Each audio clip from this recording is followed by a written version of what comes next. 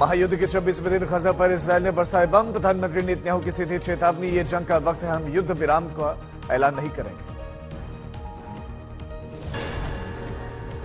Hamas को मिटाने के लिए इसराइली सेना का पुख्ता प्लान आया। सामने खजा में ज़मीन में घुसने का रास्ता भी तैयार। आईडीएफ ने कहा कि जीत हमारी होगी और हमारा यही मकसद। खजा में इसराइल का ज़बरदस्त हमला, कई इमारतें समेत कई लोगों की मौत। गजा पट्टी में इसराइल के ज़बरदस्त जमीनी हमले का वीडियो आया सामने इसराइली सैनिकों की राइफल्स गर्जें, गोलियों की बौछार। लेबनान में हिजबुल्ला के ठिकानों पर इसराइल की तरफ़ से हमला। आईटीएफ ने इसराइल पर हुए हमले के विरुद्ध कार्रवाई की। लेबनान में कई आतंकी ठिकाने नष्ट किए गए।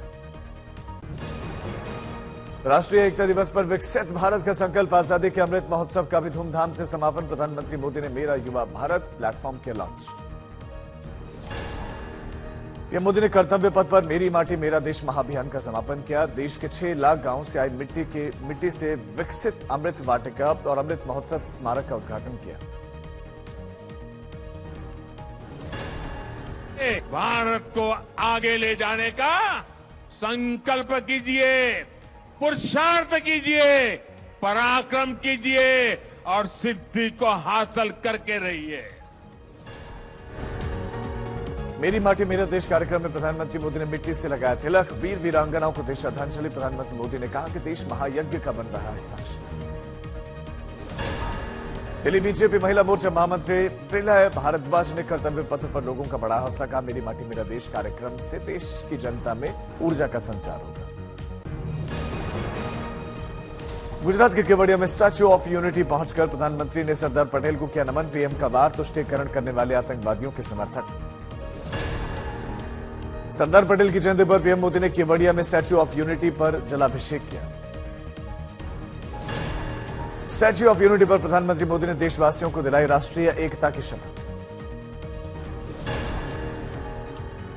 वीरांगनाओं ने प्रधानमंत्री मोदी के सामने बुलेट पर दिखाया अनोखे करतब, पीएम ने ताली बजाकर बढ़ाया हौसला।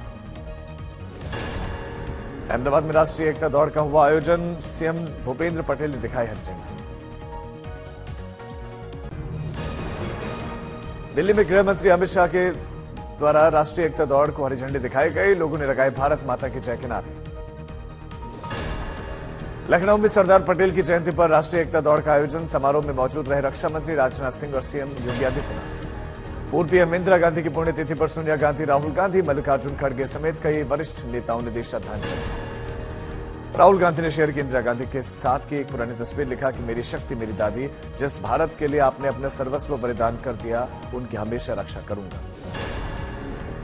जम्मू कश्मीर के बारामूला में आतंकी हमला, हेड कांस्टेबल शहीद घर में घुसकर आतंकियों ने मारी गोली, तीन दिन में तीसरी बड़ी वारदात।